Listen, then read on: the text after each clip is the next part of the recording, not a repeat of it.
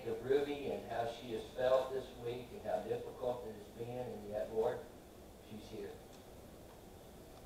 Father, I pray for those like Margaret that are designed a part of our prayers, that are struggling, going through disease, those that have just finished surgery, those that have important decisions to make. And I pray that you would hear this prayer, and that, Father, you would answer it only in accordance with your perfect will. For I cannot pray any other way. And Lord, I ask that as we spend this next 30 minutes or so together around your word, that you would anoint that word. Lord, I'm not worthy to speak. But because it's been placed upon me, I pray that you help me to speak it clearly. I ask this, Jesus, in your mighty name. Amen. Stand with me as we come back to 2 Corinthians chapter 4. I've been preaching through the book of 2 Corinthians for a few weeks now. And I, uh, I want us continue to learn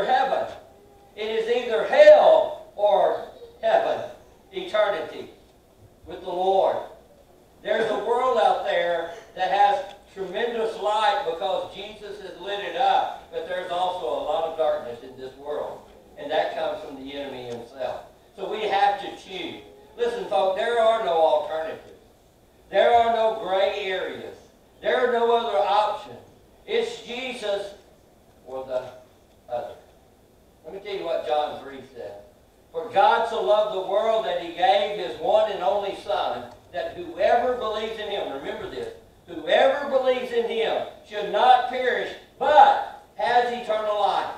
For God did not send his Son into the world to condemn the world. Jesus didn't come to bring condemnation, damnation, destruction to us, but in order that the world might be saved through him. Whoever believes in him is not condemned, but whoever does not believe is condemned already. And you know why? Because they have not believed in the name of the only Son of God. So you see, if you look at your life right now, before Jesus Christ and your decision to trust Jesus Christ, you are already condemned. There's a verdict of death upon you. We are all appointed to die. Sin has come into our lives, and that has separated us from God. We have a death penalty. So that choice to trust Jesus Christ and to understand the value of the gospel, which is his death, burial, and resurrection, when we understand that, man, we gain so much. The shed blood of Christ washes away our sins, and we're no longer condemned. I like that. Amen. I'll give you another but. Once we receive this glorious salvation of Jesus, we're still in these clay tents. You know what that means? Sickness is going to come. Amen, sister? Hey, disease is going to hit us. Pain is going to be experienced. Failure and disappointment are going to come. Heartaches are going to happen. As long as I am in this clay tent and I am in this sin-cursed world, those things are just going to be a part of it. But let me tell you something. That's why I call this message Broken Vessels. You know why? Let me tell you why. Verse 7. We have this treasure in earthen vessels. You know what the treasure is? Look at verse 6. That God has shined the light of the face of the Lord Jesus Christ into our hearts. You know how I go through cancer? Jesus inside of me. You know, you know how I go through sickness? Jesus inside of me. You know how I go through heartache and pain and death? Jesus inside of me. I have a treasure inside of me that allows me to overcome everything that this piece of clay or this sinful world puts me through. And if Christ is inside of me, greater is He in me than He that's in the world or anything else in it. But I want you to remember the inside. Did we get so focused on the outward person? How I look, be honest, how I look, how others see me. We comb our hair, we put on our makeup, we cut our hair. Hey, we want to look good. I wear bow ties now because y'all just keep bragging on them. But don't forget the inside. Now, I have up here something that I love so dearly. Uh, Aaron, come here.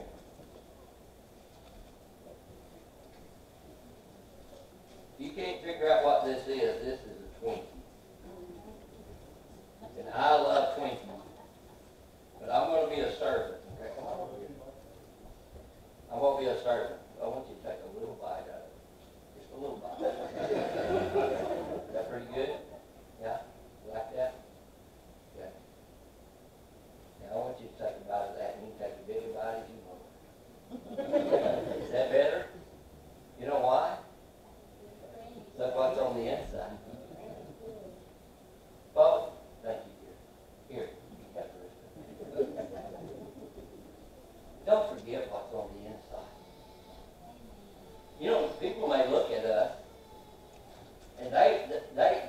not see what's on the inside. Because you know why? What's on the inside is not showing itself. It's not manifesting itself. People see. Chelsea, come on up here. This is what you see me like. So I have chocolate. But let me tell you something. Chocolate's good. Amen? Amen. But wait till you get to the inside. You know what's on the inside? Think about it. What's on the inside? Cherry. Yeah.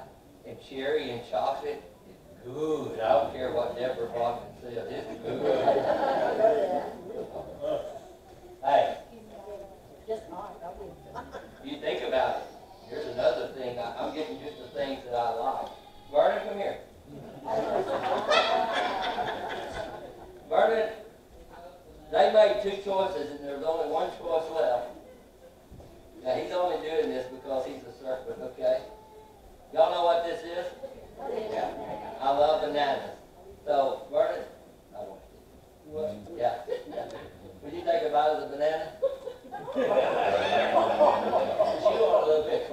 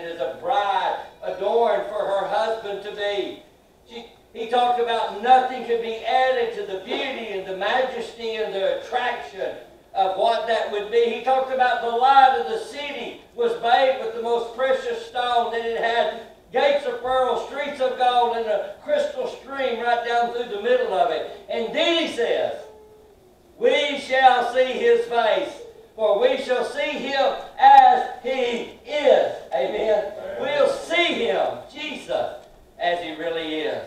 Imagine that glorious morning. I'm going to tell you something, folks. It'll be worth it all when we see Christ. No more pain, no more disease, no more sickness, no more suffering, no more any of those things when we see Jesus. But let me tell you something else John sees.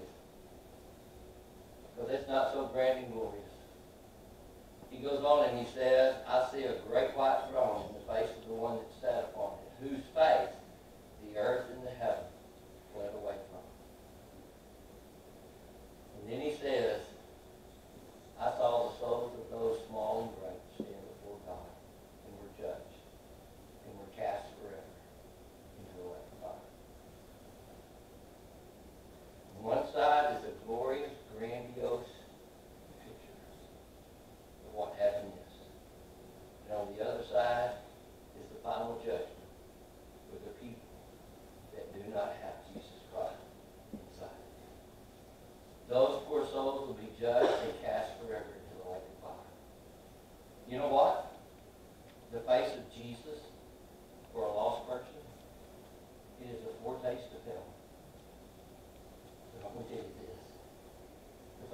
Jesus.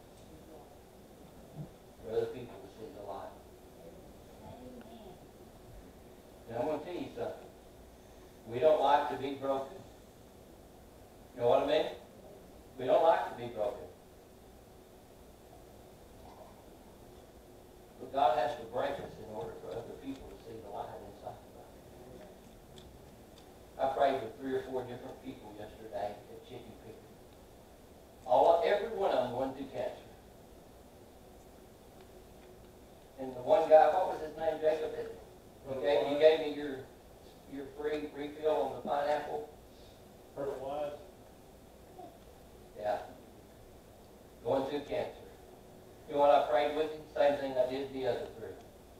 That in the midst of their struggle and their hurt and their pain, that the light of Jesus Christ would shine clear.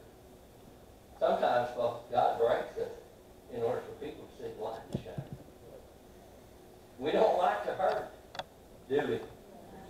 But I tell you what, if we react to pain, if we react to disease, if we react to death, if we react to these things in the way that God has for us to react to them, guess what?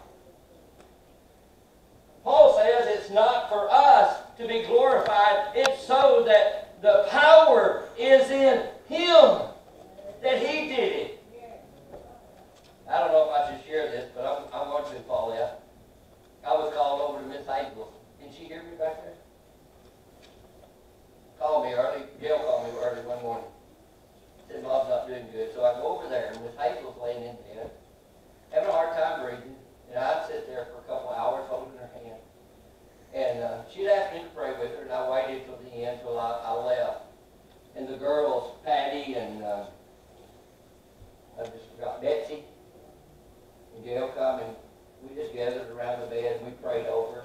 And I, I went on to do other things, other business actually, and I got a call in an hour, and Patty said, you're not gonna believe this, and Mom got out of bed, went to the restroom, went to the kitchen, sat down, ate a bowl of soup, got through, she said, I'm gonna go sit in a chair. You know, she said, you're good, I said, no, it ain't me, It- it's the God I pray to. Amen. Let me tell you something. It's the God I pray to. All these things happen so that the glory goes back to the one whose face is shining inside of us, the Lord Jesus Christ. Oh my goodness, imagine that morning when we see him face to face. But now we're broken vessels. The pitcher, the light is hidden till it's broken.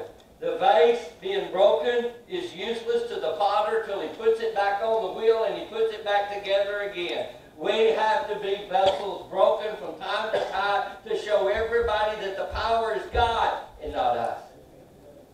Then we become usable vessels. But let me tell you what it's like being a usable vessel. This side of it. I'm not a father, so I can't put it back together that quick. But listen to me.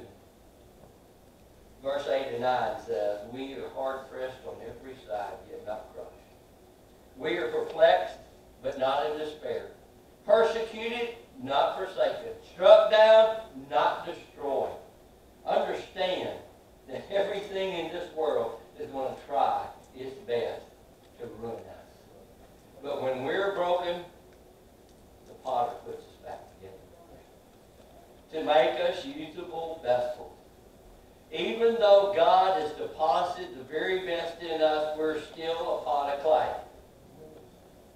It's got to have repairs, Pam. It's got to hurt, sister. It's got to. But guess what? When God does His thing, God shines Himself in those situations. We're pressured, but we're not distressed. How many times did your plans just up and change and you're like, oh my goodness, I am totally frustrated? That ever happen to you, Jim? Thought it did. Does me all the time. Paul uses a word there for trouble. It's to libo, a, a Greek word that speaks of that which by pressure or by affliction or by antagonism, it beats us to death. Guess what? Paul, in this moment, was surrounded on all sides by all these things. And when he was boxed in, you know what he did? He looked up. Figure that. When he was boxed in and there was no place to turn, he looked up. And that's really where our gaze ought to be. Perplexed, but we're not desperate. You ever get to the point that you don't know where to turn? You ever been there? I bet you have. See you shaking your head. It reminds me of a character in the Bible named Festus. What was he going to do with the man writing this letter? His name was Paul. And he was stirring a stink everywhere he was preaching. So Festus said, listen, here's the plan. If you'll do this, this, and this, then I'll do this. And guess what?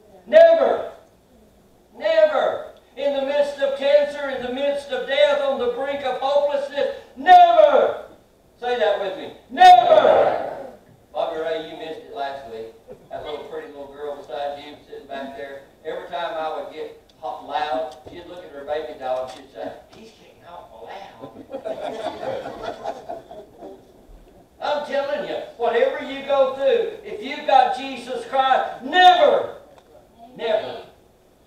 There were three Hebrew children that got in a fire. A fiery furnace it was. And, and went over, what was his name, Nebuchadnezzar? When Nebuchadnezzar went over there and he looked inside that, he was expecting those three boys to be burned up. But he got the surprise of his life. in the midst of those flames, those three boys were walking around, and guess what? He turned to his soldiers and he said, have of y'all all been there? Three. Well, wait a minute, there's one, two, three, four. Four? Who's the fourth? He said, That fourth guy, he, he kind of looks like the Son of God. Isn't that amazing that he would make that statement? He kind of looks like the Son of God. y'all realize Jesus hadn't come in the flesh till later, don't you?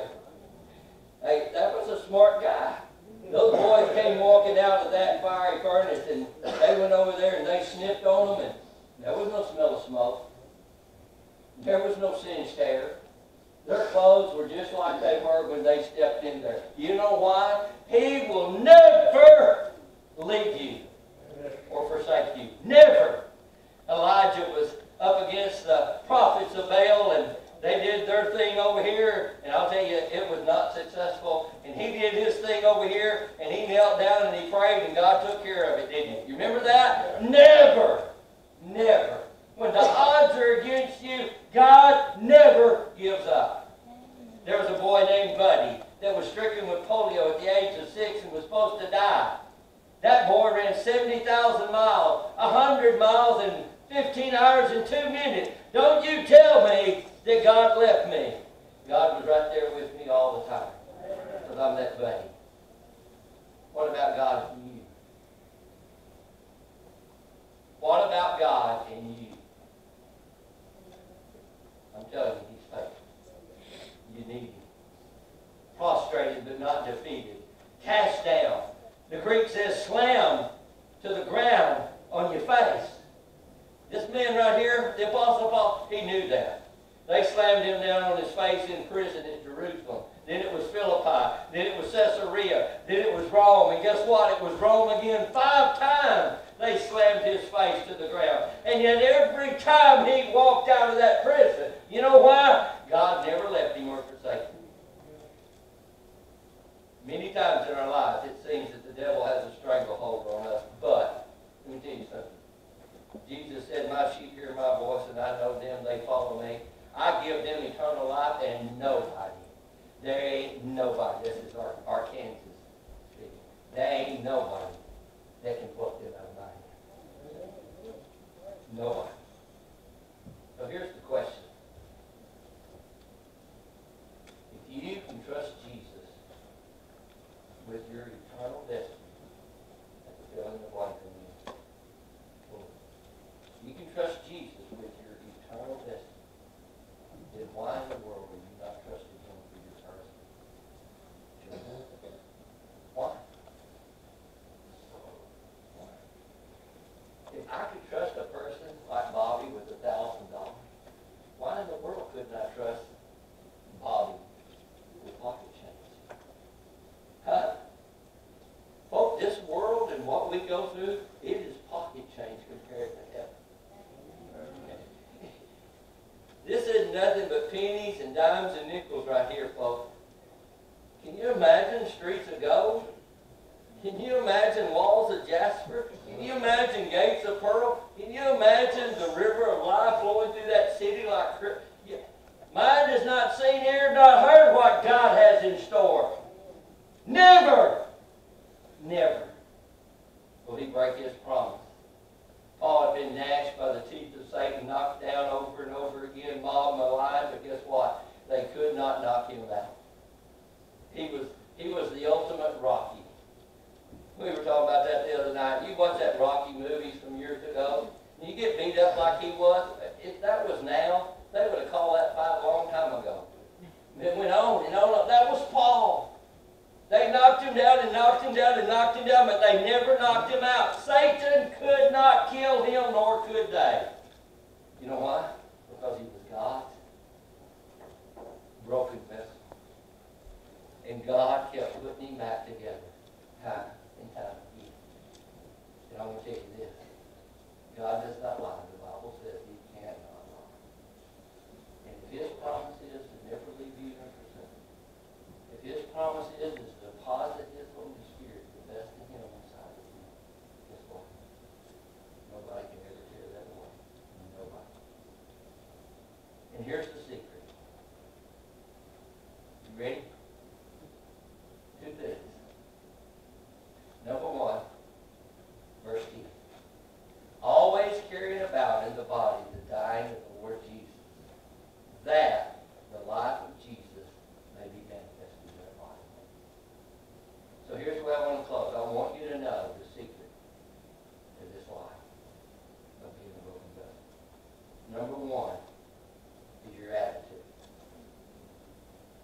my doctor told my mom and dad he wasn't going to give God the credit when, when I went home from the hospital, said, well, maybe he'll live.